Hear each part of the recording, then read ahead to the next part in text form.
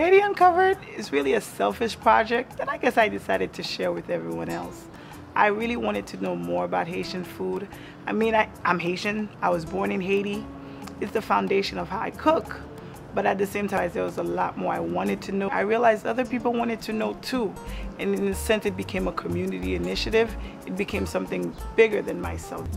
Haitian cuisine is like Italian cooking with, with spice, with passion. What resonates the most for me about food is that it's the common denominator.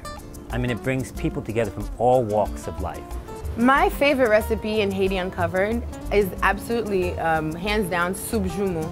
Um, because not only has Nadege added her own flavorful twist to it, but soup joumou actually has a very deep meaning for us um, for Independence Day. I've tried all different cuisines, but I think one of my favorite is the recipe in Haiti Uncovered for uh, red beans and rice, diri kole, um, and it is amazing.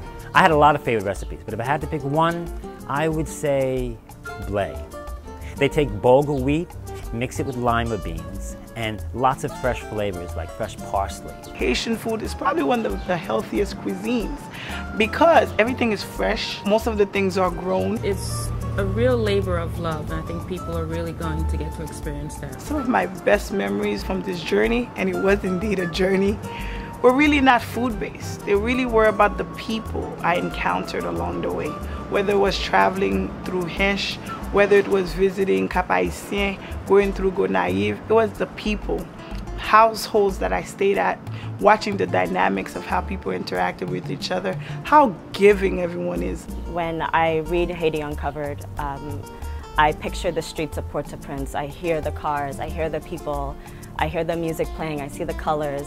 My family's from Nigeria, so um, my favorite dish is fufu, and there's a similar dish there, tom tom. They call it something different, but it's basically the same thing. So it shows that connection between like the Haitian culture and the Nigerian culture, and that like we're all one people, really.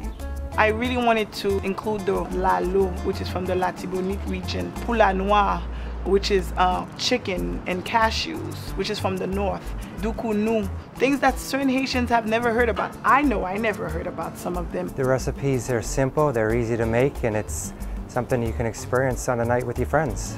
Haiti Uncovered will help expose Haiti in a light that it hasn't been exposed in before.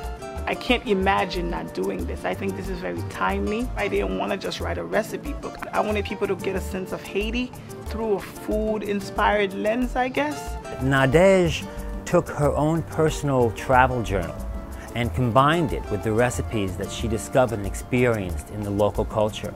The book will be released on November 18th, but prior to that, the book will be available at a significant discount if you pre-order it as of August 18th.